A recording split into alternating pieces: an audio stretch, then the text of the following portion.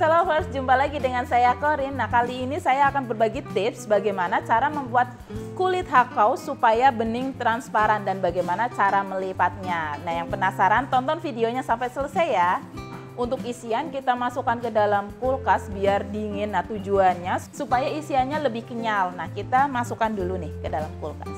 Untuk menghasilkan kulit hakau yang bening transparan, kita menggunakan tepung tangmien. Nah, tepung tangmien ini adalah tepung dari pati gandum, dia lebih putih dan lebih halus dari tepung terigu. Nah, ini kita masukkan.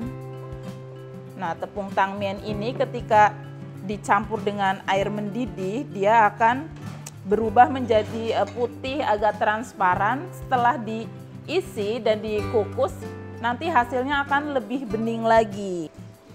Nah untuk membuat kulit hakau wajib menggunakan air mendidih supaya adonannya matang dan adonannya menjadi lembut dan elastis.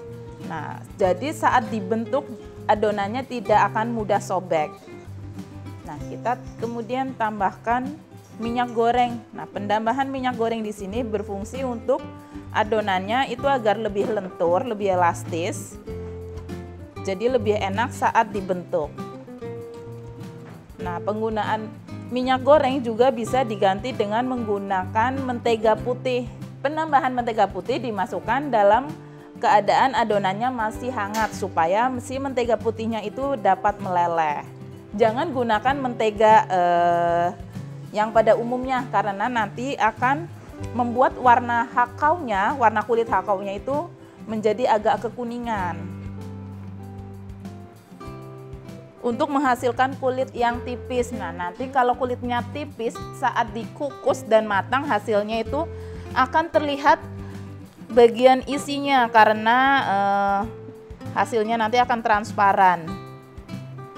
Ini dia hakonya sudah jadi, tinggal kita sajikan untuk keluarga tercinta. Mudah bukan cara pembuatannya? Buat sase lovers jangan lupa untuk dipraktekkan di rumah. Dan jangan lupa untuk subscribe, like, komen, dan share YouTube channel kita Sajian Sedap. Sampai ketemu di Masak Bareng Korin berikutnya. Bye-bye.